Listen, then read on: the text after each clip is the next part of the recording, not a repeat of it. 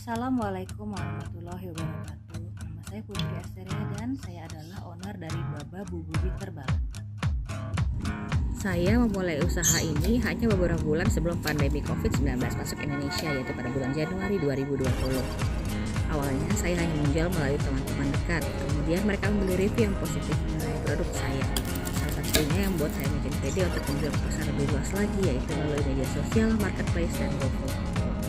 Saat ini Baba Bubu Terbalat ada empat varian rasa yaitu ayam wortel, daging jamur, dan varian ayam wortel dan daging jamur dengan isian keju. Semuanya dalam ukuran bite size yang pas untuk sekali hal.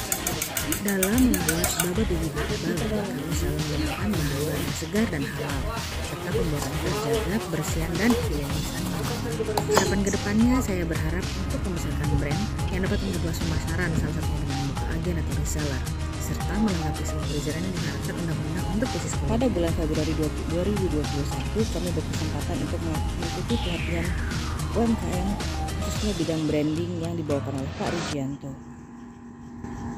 Saya sebagai pelaku usaha UMKM pemula amat sangat terbantu dengan adanya pelatihan ini.